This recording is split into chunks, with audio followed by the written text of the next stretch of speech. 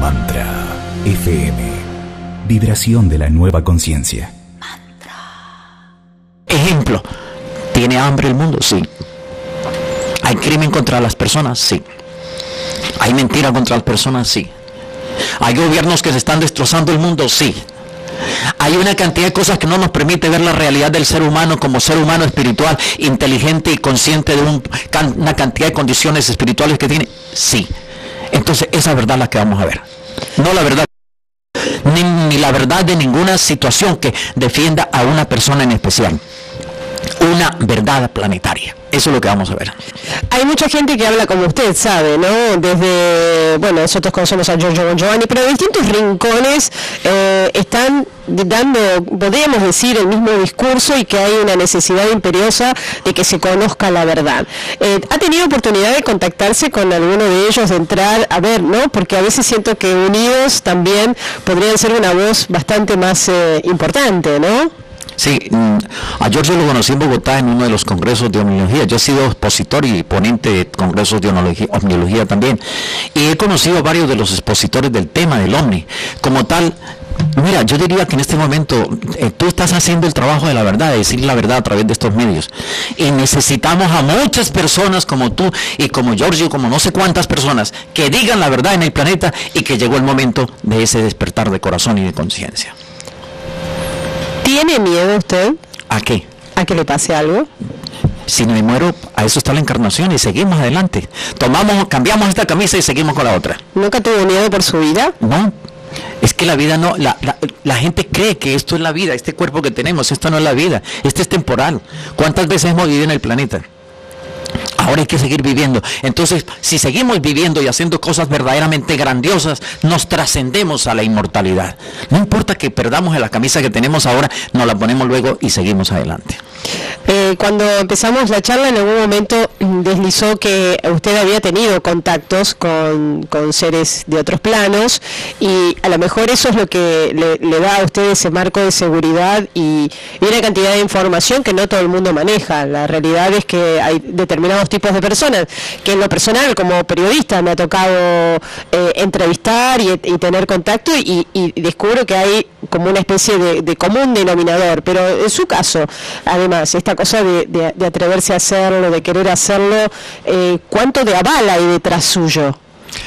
Yo pienso que es la, el conocimiento que en el que fui preparado y en el que me preparé. No solamente la lectura, el estudio, la comparación, todo lo que hay aquí, sino es simplemente la observación de un planeta que se está muriendo, que está agonizando. ¿Cuánto quisiera hacer por los niños que no tienen hogar? Por las gentes que están tiradas en una calle, no solamente la veo aquí en Argentina, la he visto por todas partes donde he ido. Por la gente que no tiene voz, por la gente que no puede hablar. ¿Cuánto, ¿Cuánto podría yo hacer por muchas personas que no tienen opción de llegar a un medio de estos? Así que yo pienso que es suficiente la fuerza que me da o que me inspira el hacer cosas justas por muchas personas. Yo pienso que ahí está mi fuerza. Eh, Carlos, usted esto eh, me contó que había tenido contactos con otros seres de otros planos eh, y acá pregunto, ¿esto fue lo que lo motivó a usted a seguir investigando sobre las profecías de Parravicini y sobre lo que conocemos como Nostradamus o en verdad eso quedó como un antecedente en su historia? Bueno, yo pienso que esa es una de, las partes, una de las partes de mi vida, porque cuando ya hice mis, primeros estudios de bachillerato, yo tenía mucha información ya. Y entre comillas, era un alumno brillantísimo y la inteligencia decían ellos que era extraordinaria. Pero era porque tenía mucha documentación que yo aprendí a leer muy pequeño. A los cinco años yo leía muy bien y esto me permitió documentarme muy bien. Ya cuando yo salí de la, primaria, yo había leído por lo menos unos 50 a 60 libros de, de la época. Y eso era tener mucho bagaje ya de conocimiento intelectual. Y luego ya entró entonces la época del bachillerato y fui mejor lector y sucesivamente así entonces también esto me motivó a poder entrar investigar más. Eh, ¿Y por qué cree que le pasó esa experiencia? ¿no? Y la pregunta sería si usted todavía sigue manteniendo ese contacto. No, yo voy a dar otra respuesta que es la mejor que yo pienso que se puede dar. A ver. Todos los seres de este planeta son contactados y son extraterrestres. Jamás fueron creados en este planeta y son seres universales. Lo que pasa es que perdieron la memoria y entonces los contactos ahora están rescatándonos otra vez esa reminiscencia de que somos desde otros mundos y estamos habitando este planeta.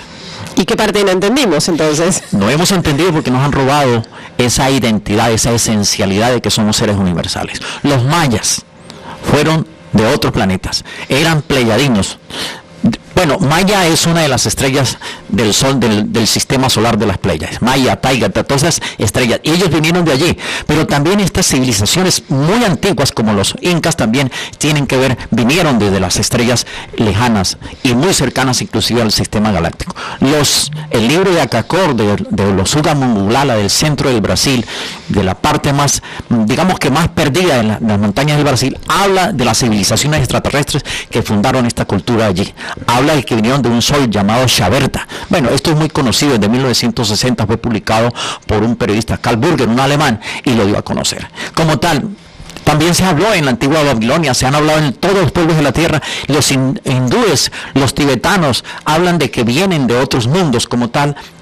todos somos entonces visitantes de otros mundos en este planeta. Y estamos recordando, y ese es el contacto. Volvemos a recordar nuestro origen en las estrellas. Eh, ¿Se acuerda del año 2000? En la víspera del año 2000, toda la, la, locura. La locura, la psicosis que había, la gente que había construido también y que calculo lo debe seguir teniendo, sus casas subterráneas y, y búnkers debajo de la tierra. Em, y al final, podríamos decir, mm, no pasó nada hasta este momento muchas, de, las, muchas de las profecías, ¿no? Y muchas de las, eh, digámoslo así, han sido mal interpretadas y comercializadas, sobre todo las religiones. ¿Pero qué, dijo, qué dijeron Parravicini y Nostradamus del 2000? No, es que el 2000 no es, no es el final del mundo, eso es lo que yo quiero que entendamos, que el hecho de que Parravicini, que Nostradamus, que los que hayan tocado esta, esta, este, esta figura del 2012, no es para hablar del fin del mundo, es para hablar de un nuevo mundo que comienza. Entonces tendríamos que ir al Apocalipsis 19 que dice, un nuevo, un nuevo cielo y una nueva tierra. Tendríamos que ir entonces a los tibetanos para hablar de un siguiente mundo. Tendríamos que hablar a los hindúes, ir a los hindúes y encontrar cómo nosotros nos vamos a conectar con las civilizaciones que vienen de otros mundos.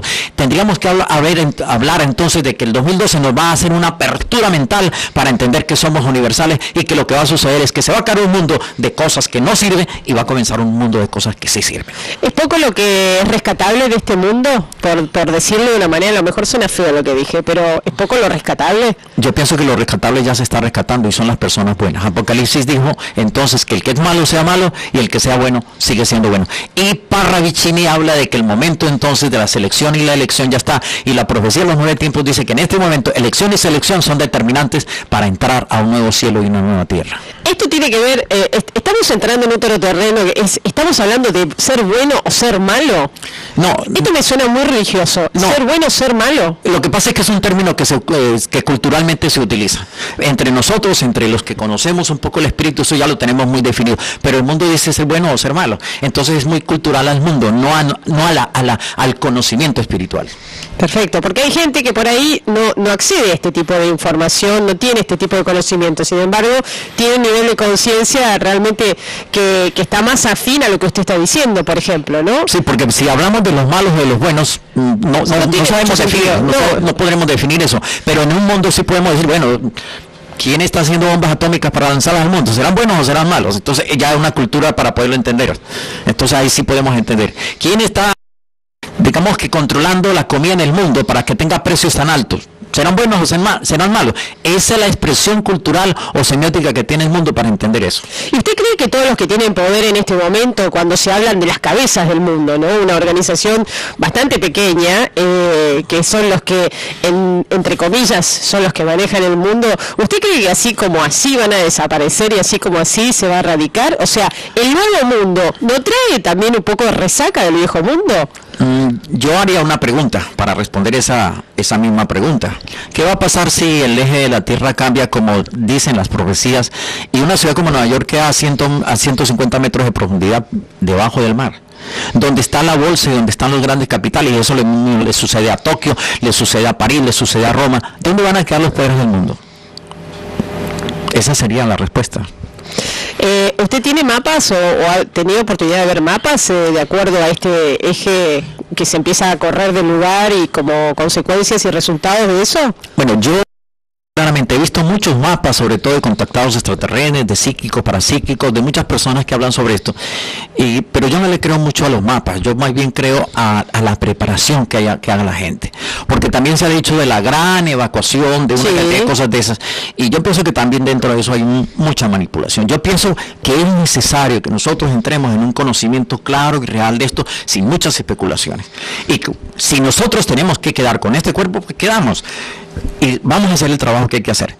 Pero si no, tendremos que nacer, y eso es lo que es importante. Vamos a nacer con un nuevo conocimiento, con un nuevo espíritu, con una mentalidad muy diferente a la que tenemos ahora.